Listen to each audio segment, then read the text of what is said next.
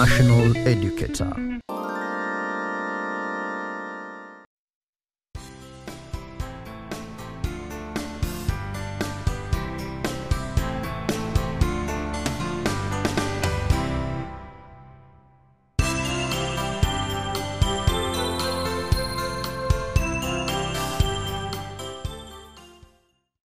Hello students, my name is teacher Thaddeus Baluka and today I'm teaching you chemistry form 3. Our topic of today is gas laws. Our subtopic is Boyle's law and Charles law. Welcome. Let's look at our lesson objectives. Let's look at our lesson objectives, students. By the end of the lesson today, the learner should be able to define what is an ideal gas. The learner should also be able to differentiate between ideal gas and real gas. The learner should also be able to state the, the, the Boyle's law and the Charles law. The learner should also be able to express the Boyle's law and the Charles law mathematically and use it to solve mathematical problems. The learner should be able to express the Boyle's law and the Charles law mathematically and use it to, form, to solve mathematical problems. Let's look, let's look at the introduction. The gas laws explain what happens to gases under different conditions of temperature and pressure.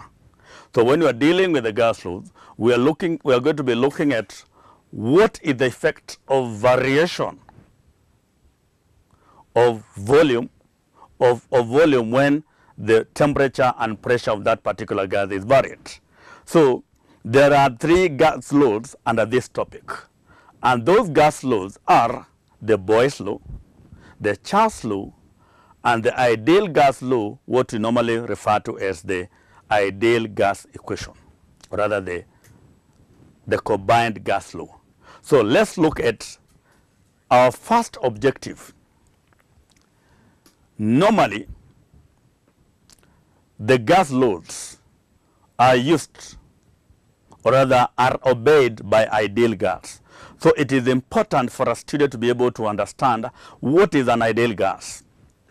An ideal gas is an hypothetical gas whose molecules occupy negligible space and have no interactions, and consequently, they are able to obey the gas laws.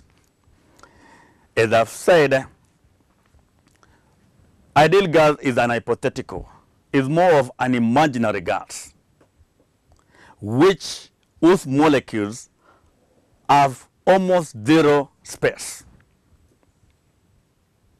They occupy zero space, they have negligible space, very, very small space, and they have no interactions. And therefore, they are able to obey the gas laws. But let's look what the difference between an, an ideal gas and a, a real gas. A real gas occupies some space.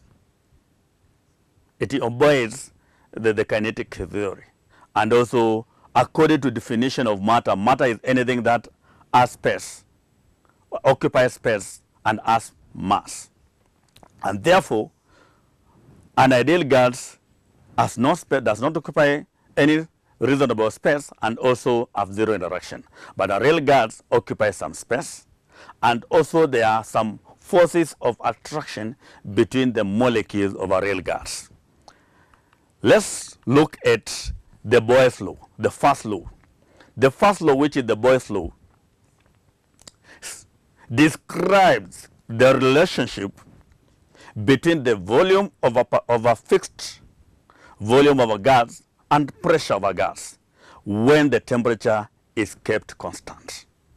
So let's look at now the Boyle's law. What does it state? As shown on the screen,